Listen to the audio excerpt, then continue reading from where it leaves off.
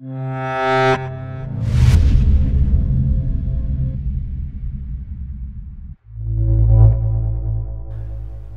it can be hard to kind of know where to start and what kind of gear that you're going to need for specific projects. So this is how I break it down. I usually start with a lighting diagram that I make on a specific program.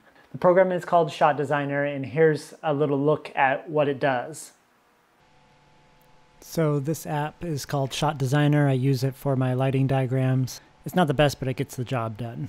Best thing about it is you can share it, so if anybody else has the app, installed. You can share folders, sync it up, um, do a bunch of stuff.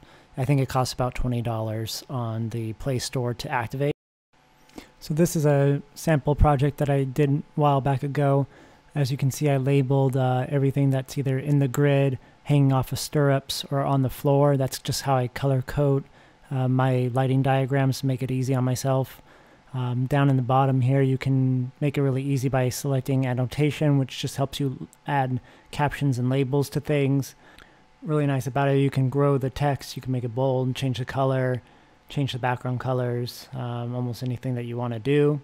If you want to add lighting, the lighting isn't as large of a list as I would like, but it gets the job done, and I reuse the look of certain lights for different lights. So like if I add one here, you can swivel around, you can place it wherever you want, which is really nice, easy to move around, color code.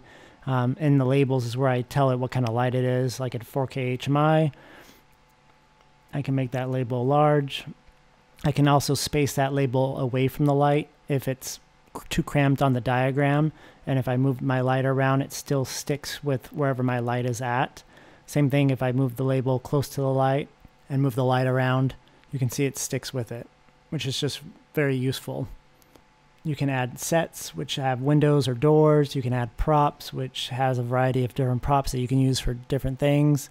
You can also insert a top-down drawing from an art director or director and place your lights around that.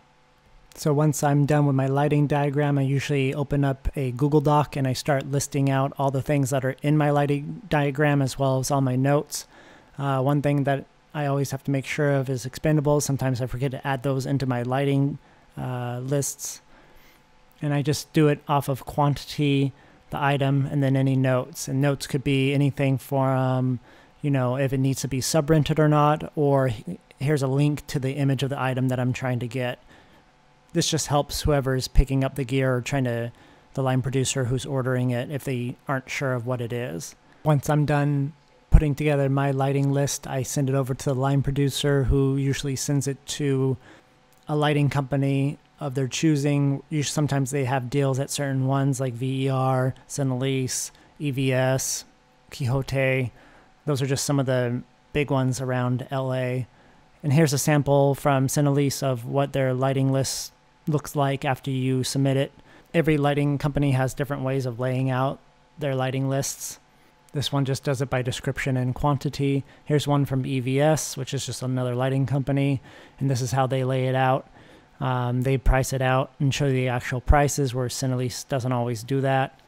And they also tell you how many days of the week that you're renting it for. After they send back the quote, that gives you a chance to look over the price of everything, decide if this is the list that you want to get, or if it's too expensive, you can figure out which units are costing the most, or if you want to swap them out for different units of a lower cost. Usually, we have to go back and forth with the lighting companies two or three times in order to get a finalized list. So yeah, these are some of the ways that I like to make my lighting list to guarantee that every project goes smoothly. If you use another program other than the one that I showed in the video, please let me know down below if you like it more or worse or how it compares to Shot Designer and I'll see you guys in the next one. Bye.